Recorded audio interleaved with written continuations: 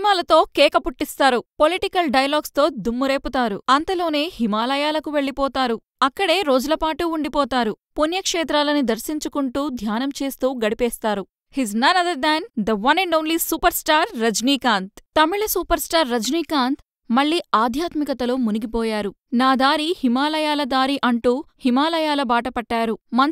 సేదతీరుతూ మానిల్యాల్ని తుడిచేసుకుంటున్నారు. త్రికరణ శుద్ధిగా భగవంతుణ్ణి ఆరాధిస్తూ ఆత్మప్రక్షాళన చేసుకుంటున్నారు. రజనీకాంత్కు ఆధ్యాత్మిక భావాలు ఎక్కువ. పుణ్యక్షేత్రాలను సందర్శించడం రజనీకాంత్కు చాలా ఇష్టం. అందులోనూ హిమాలయ యాత్రను ప్రాణప్రదంగా భావిస్తారు. ప్రఖ్యాత ఆలయాలకు వెళ్ళడం అక్కడ పూజలు నిర్వహించడాన్ని ఇష్టపడతారు.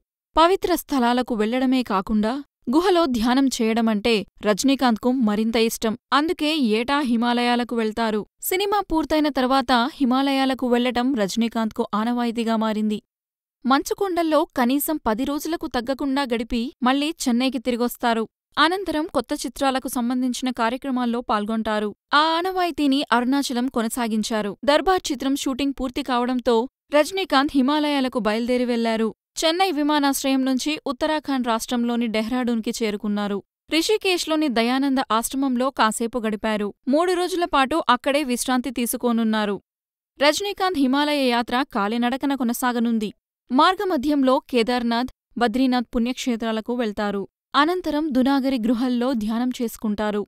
ఈ గుహల్ని రజనీకాంత్ చాలా పవిత్రంగా భావిస్తారు. ఇక్కడే రజనీకి దైవ సమానంగా పేర్కొనే బాబా ధ్యానం చేశారని చెప్తారు. అందుకే ఇక్కడ ధ్యానం చేస్తే బాబా సన్నిధిలో ధ్యానం చేసినట్టే అని రజనీకాంత్ భావిస్తారు. దునాగురి గృహల్లో ధ్యానం చేసి బాబా ఆశీర్వాదం తీసుకున్న తర్వాతే మళ్ళీ తిరిగి చెన్నైకి వస్తారు. రెండువేల పద్దెనిమిదిలో కూడా రజనీకాంత్ హిమాలయాలకు వెళ్ళారు. ఆ సమయంలో ప్రముఖ శివాలయం బైజునాథ్ మహాకాళి ఆలయాలను సందర్శించారు. అలాగే మహావతార్ జమ్మూకాశ్మీర్లోని శివఖోరి ఆశ్రమాలకి వెళ్ళారు. ఆ సమయంలోనే బాబా గుహల్ని కూడా దర్శించుకున్నారు. ప్రకృతిలో సేదతీరుతూ ప్రకృతి అందాలను ఆస్వాదించడమే రజనీకాంత్కు ఇష్టం. ఈ పద్ధతిని రెండువేల పది వరకు కూడా తలైవా పాటించారు. సన్నిహితులతో కలిసి హాయిగా ప్రకృతి ఒడిలో సేదతీరారు రెండువేల పది తర్వాత అనారోగ్య సమస్యలు తలెత్తడంతో హిమాలయ పర్యటనకు విరామమిచ్చారు. గతేడాది ఆరోగ్యం మళ్ళీ చక్కబడడంతో మంచుకొండల్లో మరోసారి పర్యటించారు. హిమాలయ సందర్శన కేవలం ధ్యానం చేయడానికి మాత్రమే కాదు సొంతంగా ఓ ఆశ్రమాన్ని కూడా ఏర్పరిచారు తమిళ సూపర్ స్టార్. పరమహంస యోగానంద స్థాపించిన యోగదా సత్సంగ సొసైటీ ఆఫ్ ఇండియా వందేళ్ళు పూర్తి చేసుకున్న సందర్భంగా రెండువేల పద్దెనిమిదిలో తన స్నేహితులతో కలిసి హిమాలయాల్లో ఒక ఆశ్రమాన్ని నెలకొల్పారు. రజనీకాంత్ ఈ పేరే ఒక సెన్సేషన్. ఆయన ఏది చేసినా అదొక క్రియేషన్.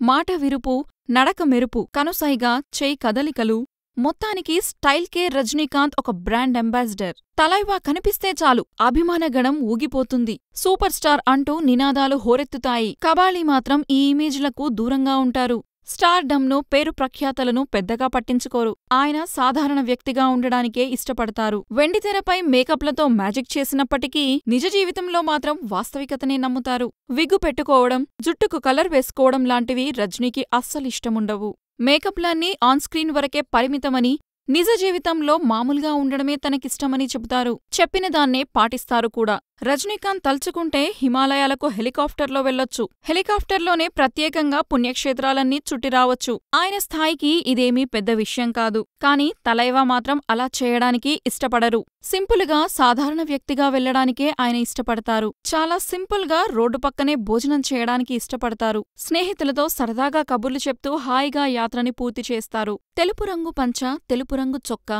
మెడలో రుద్రాక్షమాల ఒక సాలువ. ఇది రజనీకాంత్ ఆహార్యం. హిమాలయ యాత్ర మొత్తం ఇలాగే కొనసాగుతుంది. రజనీ వెంట ఎప్పుడూ ఇద్దరు ముగ్గురు సన్నిహితులుంటారు. భద్రతాపరంగా ఎటువంటి హడావుడి ఉండదు. సంవత్సరంలో కొద్ది రోజులైనా బిజీ లైఫ్కు దూరంగా ప్రకృతి ఒడిలో ప్రశాంతంగా గడపాలన్నదే రజనీకాంత్ సిద్ధాంతం. రాజకీయపరంగా కూడా రజనీది డివోషనల్ స్టైలే. ఆధ్యాత్మిక స్టైల్ అంటూ రాజకీయాలకు తలైవా కొత్త అర్థం చెప్పారు. ప్రస్తుతం మాత్రం సినిమాలతో బిజీగా ఉన్న కబాలి వచ్చే తమిళ అసెంబ్లీ ఎన్నికల్లో కబాలి తన అదృష్టాన్ని పరీక్షించుకోనున్నారు. మరి అరుణాచలం డివోషనల్ పొలిటికల్ స్టైల్ను తమిళ తంబీలు ఆదరిస్తారో లేదో వచ్చే ఎన్నికల్లో తెలుసుకుందాం.